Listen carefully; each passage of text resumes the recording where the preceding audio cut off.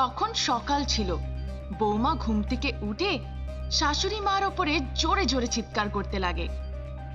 এই বুড়ি কখন আমি ঘুম থেকে উঠেছি? এখনও পর্যন্ত আমার কফি এলো না কেন এখানে? আসছি অনামিকা। শাশুড়ি মা বৌমার কাছে যায়। আপনার কি বুদ্ধি নেই? আপনার মুখ দেখার জন্য আপনাকে ডাকছিলাম না। কফি আনার জন্য বলছিলাম। যান তাড়াতাড়ি গিয়ে কফি নিয়ে আসুন। আরে যা আমি একদম ভুলে গেছিলাম মা। এক্ষুনি গিয়ে আমি নিয়ে আসছি। এই বলে সঙ্গে সঙ্গে গিয়ে তার জন্য সে কফি নিয়ে আসে। তাতে এক চুমুক দিয়েই অনামিকা বলে ঘরে চিনি আছে না সব এতেই দিয়ে দিয়েছেন? এভাবে অনামিকা রেগে মেগে বলে তারপর পুরো কফিটা শাশুড়িমার মুখে ছুড়ে দেয়। ঠিক আছে মা এক্ষুনি গিয়ে আমি আরেকটা নিয়ে আসছি। শাশুড়ি মা এভাবে বলেন। তারপর তিনি যেতে লাগেন তখন অনামিকা তাকে বলে গিয়ে জল গরম করো তৈরি হয়ে আমাকে এক্ষুনি বেরোতে হবে। এভাবে অনামিকা বলে। তার শাশুড়ি মাও তার কথায় রাজি হয়ে যায়। তারপর সে ভেতরে গিয়ে পুরনো কালের মতন কাঠের আগুনে জল গরম করতে লাগে। এখনও আপনি ওই আদ্যিকালের মতন জল গরম করছেন? কেন? হিটার নেই? আমাদের কাছে এত টাকা আছে তা সত্ত্বেও আপনি সেই আদ্যিকালের মতন কাজ করতে থাকেন।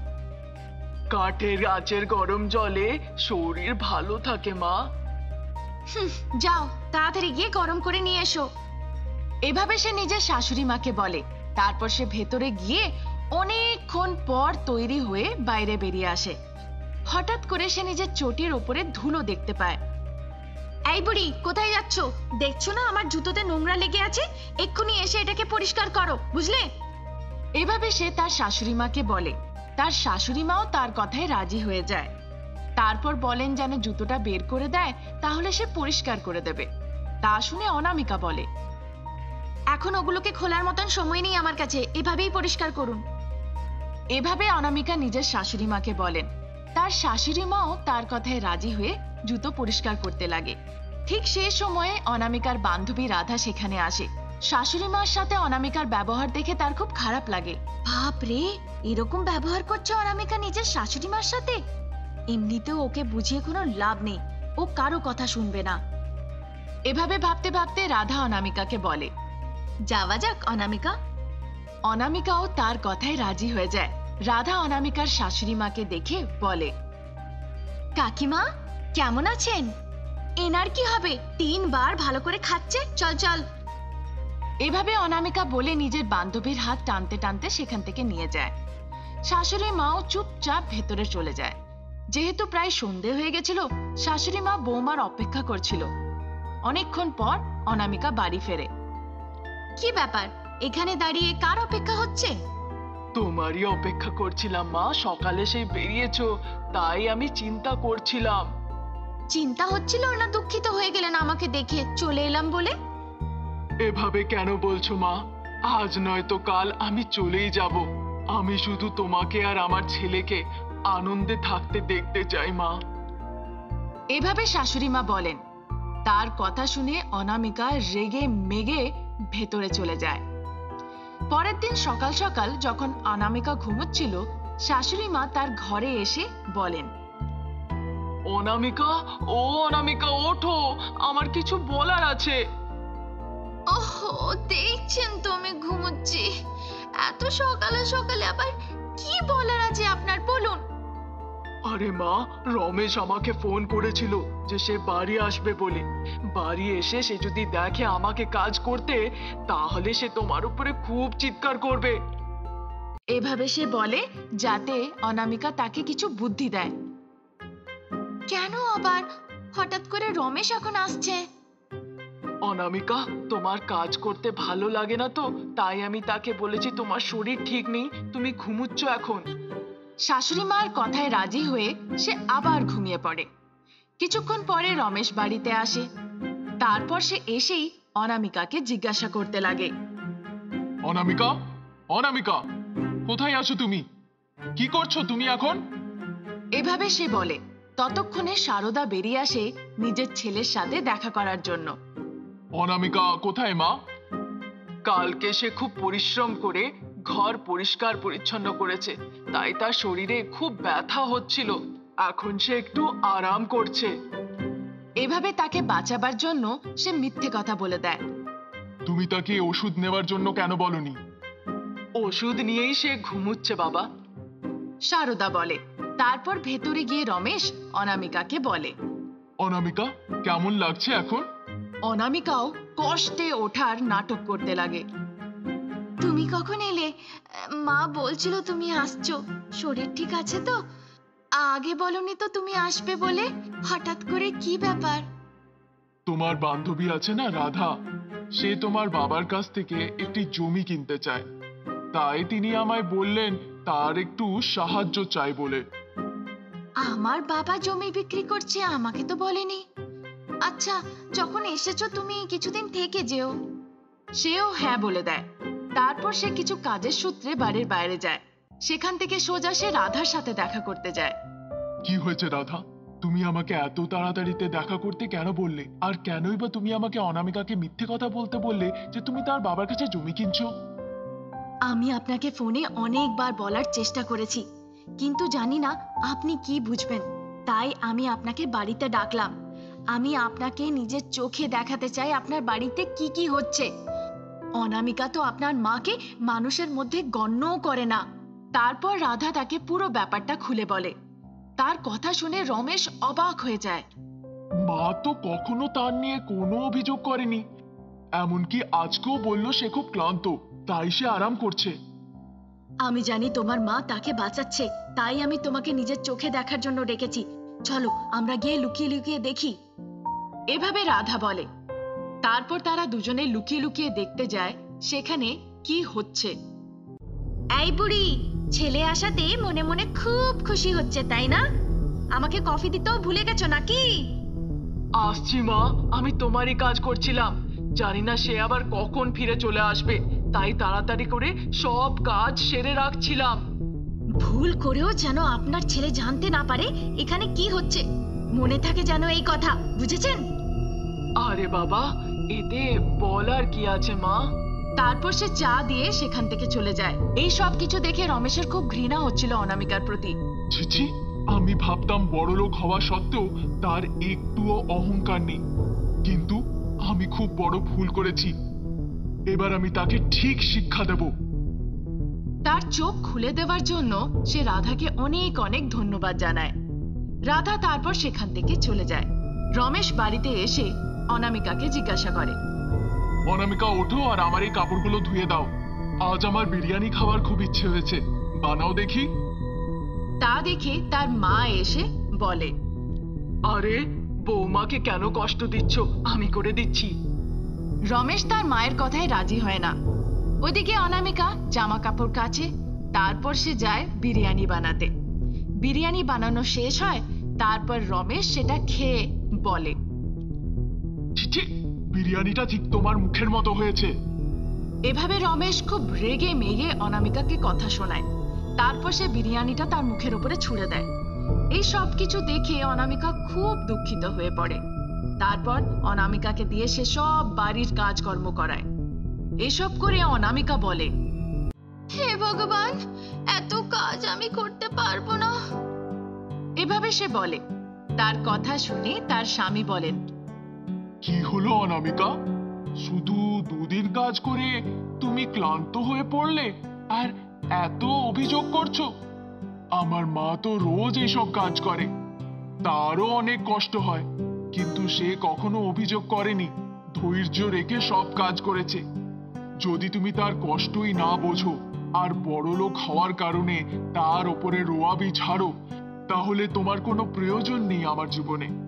তুমি ছেড়ে যেতে পারো, আমি অন্য বিয়ে করে নেব। এভাবে সে খুব কড়া ভাবে বলে। তার কথা শুনে অনামিকা বলে, না না, এভাবে বলো না, আমার খুব বড় ভুল হয়ে গেছে। তারপর সে নিজের শাশুড়ি মার কাছে গিয়ে ক্ষমা চায়, মা, আমার খুব বড় ভুল হয়ে গেছে, আমাকে ক্ষমা করে দাও। আপনার ছেলে আমাকে ছাড়ার কথা বলছে, এতে আমাদের সম্মান মাটিতে মিশে যাবে। বাবা তুমি পাগল হয়ে গেলে নাকি? এসব কি বলছো? এভাবে রমেশের মা তাকে বলে। মা আমি অনামিকাকে শিক্ষা দিতে চাইছিলাম। আশা করি এখন সে নিজের ভুল বুঝেছে। আর তোমার সাথে কখনো ওভাবে দুর্ব্যবহার করবে না। আমি সবই জানি মা। এই সব কিছু দেখে শাশুড়ি মা খুবই আশ্চর্য ছিল। তাই সে চুপ করে দাঁড়িয়েছিল। অনামিকা নিজের ভুল বুঝতে পারে। তাই সে নম্রতা সহকারে শাশুড়ি মার সাথে ব্যবহার করতে লাগে। এখন তারা কাজ ভাগ করে করে এই সব কিছু দেখে রমেশ খুব সুখী হয় তারপর কাজের সূত্রে সে আবার শহরে ফিরে যায় दक्षिणापुर नाम का एक गांव था उस गांव में विष्णु नाम का एक व्यक्ति रहता था उसकी पत्नी का नाम था अनामिका उसने अपने माता पिता के खिलाफ जाकर अनामिका से प्रेम विवाह किया था इसी वजह से उसकी माँ अनामिका को बिल्कुल पसंद नहीं करती थी और किसी न किसी वजह से उसे हर दिन डांटती रहती थी। ये सब देखकर एक दिन विष्णु अनामिका से कहता है अनामिका मेरी माँ तुम्हें पसंद नहीं करती है। इसी वजह से वो तुम्हें हर दिन परेशान करती है। मैंने तुमसे कहा था हम कहीं अलग जाके रहेंगे पर तुम मेरी बात क्यों नहीं सुन रही हो? मुझे ये समझ नहीं आ रहा है। देखिए मैं आपसे एक बात कहती हूँ। आपकी माँ ने आपको 24 साल पाल पोस के प्यार से बड़ा किया। उनके कई सपने होंगे आपकी शादी को लेकर। मेरे आते ही उनके सारे सपने चूर चूर हो गए तो वो दुखी होंगी ना? वो दुखी होगी मैं मानता हूँ पर जो होना था वो तो हो गया। अब तो वो अच्छे से रह सकती है ना? यहाँ जो कुछ भी हुआ है उसके बारे में सभी लोग जानते हैं। इसका मतलब है सभी जानते हैं कि आपने अपने परिवार के विरोध जाकर मुझसे शादी की। अब हम अलग रहने लगेंगे तो कहेंगे लोग कि बहू आते ही पूरे परिवार को तोड़ दिया। फिर आपकी माँ और भी बातें सुनाएँगी। मैं उन सारी बातों को नहीं बर्दाश्त कर पाऊँगी। किसी भी तरह मैं उन्हें ज़रूर बदल दूँगी। फिर वो भी उसकी बातों पर हाँ कहकर चला जाता है। कई महीने निकल जाते हैं, पर सासू माँ के व्यवहार में कोई बदलाव नहीं आता है। इस बीच पता चलता है कि अनामिका गर्भवती है। ये सुनने के बाद अनामिका के पति और अनामिका बहुत खुश होते हैं। पर ये जानने के बाद सासू माँ आग बगुले हो गई। मैं भी देखती हूँ तुम गर्भवती कैसी होती हो। उस बच्चे को मैं पेट में ही मार दूँगी। इस दुनिया में आने ही नहीं दूँगी। सासू माँ ऐसा सोचती है। उस दिन के बाद से सासू माँ अच्छी बनने का अभिनय करने लगती है। अनामिका इतने दिनों से मैंने तुम्हें बहुत परेशान किया। क्योंकि तुम अभी गर्भवती हो मैं ऐसा बिल्कुल नहीं करूँगी। इस घर में वारिस आने वाला है। ये जानने के बाद से मैं बहुत खुश हूँ। सासू माँ की मीठी बातें सुनकर अनामिका बहुत खुश हो जाती है। सासू माँ आपकी ये सारी बातें सुनकर इतने दिनों के बाद मैं बहुत खुश हूँ। हाँ हाँ अभी के लिए खुश रहो। मैं उस खुशी को लंबे समय तक नहीं रहने दूँगी। तुम और तुम्हारे बच्चे दोनों को स्वर्ग में पहुंचाऊँगी। तब जाके मुझे शांति मिलेगी। फिर मैं अपनी बेटी की दूसरी शादी कराऊँगी। इस तरह सासू माँ सोचती है। अगले दिन जब अनामिका चल रही थी उस वक्त सासू माँ को लगता है कैसे भी करके अनामिका को गिरा दिया जाए। इसलिए वो उसके रास्ते में तेल डाल देती है। तब तक विष्णु आ जाता है वहाँ और वो देखकर कहता है माँ यहाँ तेल गिराया किसने? इस घर में गर्भवती महिला है। क्या तुम ये सारी चीज़ें नहीं देखती? लेकिन ये तेल आया कैसे यहाँ? जैसे कुछ पता ही ना हो सासू माँ कहती है। अरे बेटा मैं तेल लेकर आ रही थी गलती से गिर गया। मैं उसे साफ़ करने ही जा रही थी तब तक तुम आ गए। रुको साफ़ कर देती हूँ। उसकी बात वो मान लेता है। फिर साफ़ करते करते वो मन ही मन कहने लगती है। इश पूरा तेल बर्बाद हो गया। कोई काम नहीं आया। अब मुझे कुछ और सोचना होगा। इस तरह सासू माँ सोचती है।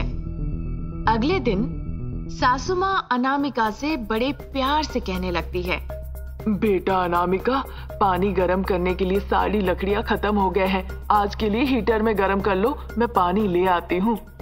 ऐसा कहकर सासू माँ पानी लाने के लिए वहाँ से चली जाती है और बहू रानी को कहती है हीटर ऑन करने के लिए। सासू माँ पहले से ही ऐसा बंदोबस्त कर रखी थी कि बोर्ड को छूने से ही शॉक लगेगी। पर जैसे ही बहुरानी स्विच ऑन करने गई बिजली चली गई। इस बारे में सासू माँ को नहीं पता था। ये क्या उसे शॉक क्यों नहीं लगी? ये सोचकर वो स्विच देखने के लिए गई। तब तक बिजली आ गई और सासू माँ को जोरों का झटका लगा। सासू माँ की हालत देखकर अनामिका बहुत घबरा गई और जाकर मेन स्विच ऑफ़ करती है। झटका खा के सासू माँ दूर गिरी पड़ी थी। सासू माँ आप ठीक तो है ना? हाय भगवान तुम समय पर आकर मुझे बचा ली। फिर जैसे ही वो अंदर चली जाती है सासू माँ मन ही मन कहती है हे भगवान दो दो बार बच चुकी है ये। तीसरी बार बचनी नहीं चाहिए। कल मैं केसर दूध में नेरियम पाउडर मिला के दे दूँगी। फिर ये माँ और बच्चे दोनों ही मर जाएँगे। सासू माँ ने ऐसा सोचा। अगले दिन वो नेरियम पाउडर बनाकर उसे केसर दूध में मिला के अनामिका के पास ले गई और कहने लगी बेटा दूध में केसर मिला दिया है पी लो जल्दी से। सासू माँ ने कहा। उसकी बातें सुनकर अनामिका भी हाँ कह दी। फिर वो जैसे ही दूध का ग्लास उठाकर पीने ही वाली थी वो बेहोश हो गई। दूध का ग्लास हाथ से नीचे गिर गया। सासू माँ परेशान होकर तुरंत डॉक्टर को बुलाती है। डॉक्टर साहिबा जाँच करके कहती है, प्रोटीन युक्त खाना दीजिए, ये बहुत ही कमज़ोर है। अगर ऐसा ही रहा तो बच्चा भी बहुत कमज़ोर होगा। डॉक्टर साहिबा ने कहा। उनकी बातों पे सासू माँ ने भी हाँ कह दिया। पर मन में वो ये सोच रही थी कि उसकी तीसरी कोशिश भी बेकार चला गया। इसीलिए वो बहुत दुखी थी। इसीलिए उन्होंने दो आदमी से कहा, अनामिका की जान ले लेने के लिए। इस काम के लिए उन्होंने काफ़ी पैसे लिए। उस रात अनामिका और सासू माँ अपने अपने कमरे में सो रहे थे। अनामिका के पति दूसरे कमरे में सो रहे थे। फिर उस रात सासू माँ ने जिन्हें पैसे दिए थे मारने के लिए, वो आए। ठीक उसी वक्त बिजली चली गई, क्योंकि पंखा नहीं चल रहा था, इसीलिए सासू माँ अनामिका के कमरे में जाती है। सासू माँ, आप बिस्तर पे सो जाइए, मैं नीचे सो जाऊँगी। नहीं बेटा, तुम गर्भवती हो, तुम बिस्तर में ही सो। आप बिस्तर में आके सोइए। ये कहकर वो अपने पति के कमरे में गई, जहाँ वो सो रहे थे। वैसे ही वो दोनों चोर वहाँ आते हैं, जहाँ सासू माँ सो रही थी। फिर वो अपने साथ जो डंडा लाए थे, उससे वो ज़ोर ज़ोर से पीटने लगे। फिर सासू माँ ज़ोर ज़ोर से चिल्लाती है, मुझे बचाओ मुझे बचाओ, कहकर। फिर वो वहाँ से भाग जाते हैं। सासू माँ की चीख सुनकर अनामिका और उसके पति उसके कमरे में भाग के आते हैं। वहाँ आकर देखते हैं बुरी तरह पीटने की वजह से उनका बहुत ज़्यादा खून बह रहा था। हाय भगवान ये कैसे हो गया? बहुत खून बह रहा है। जल्दी जाके आप फ़र्स्ट एड बॉक्स ले आइए। अनामिका अपने पति से कहती है वो जल्दी जाके फ़र्स्ट एड बॉक्स ले आता है। अनामिका अपनी सासू माँ की बहुत सेवा करती है। किसी ने जानबूझकर पैसों के लिए आप पर हमला किया है। ऐसा होता है सासू माँ आप चिंता मत कीजिए, धैर्य रखिए। इस तरह अनामिका सासू माँ का देखभाल करती है। फिर वो दोनों अंदर चले जाते हैं सोने। सासू माँ मनी मन सोचने लगती है। उन्होंने मुझे बहुत बुरी तरह से पीटा। ये मेरे लिए बहुत ही दर्दनाक है। अगर मेरी जगह अनामिका होती तो माँ और बच्चे दोनों को बहुत संघर्ष करना पड़ता। मैंने बहुत बड़ी गलती की है। मैं अनामिका के साथ बहुत बुरा करने जा रही थी, पर अब ऐसा नहीं करूँगी। अनामिका के आँखों में आँसू देखकर मेरा दिल पिघल गया। सासू माँ इस तरह सोचने लगी। अगले दिन उन्होंने डॉक्टर को फ़ोन किया। डॉक्टर आके उनका इलाज की। इनके पैरों में बहुत चोट लगी है। कुछ दिनों तक उन्हें चलने मत दीजिएगा। डॉक्टर साहिबा कहती है अनामिका भी मान लेती है। गर्भवती होने के बावजूद अनामिका ने अपनी सासू माँ की बहुत सेवा की। ये सब देखकर सासू माँ का सर शर्म से झुक गया और वो मन ही मन कहने लगी। वो कितनी अच्छी है और मैंने मैंने उसे मारने की योजना बनाई। वो बहुत रोई। ये देखकर अनामिका उसे संतावना देती है। बिस्तर में पड़ी सासू माँ की बहुत सेवा करती है अनामिका। अनामिका की अच्छाई देखकर सासू माँ अपनी व्यवहार पूरी तरह से बदल देती है। वो अनामिका को मारने की सारी योजनाओं को रोक देती है, अनामिका को मदद करती है और खुशी खुशी रहने लगती है। इसी तरह कई महीने बीत गए। फिर अनामिका ने एक बच्चे को जन्म दिया। ये देखकर उसके पति और सासू माँ बहुत खुश होते हैं। इस तरह सब कुछ भूल के सासू माँ अनामिका के साथ प्यार से रहने लगती है।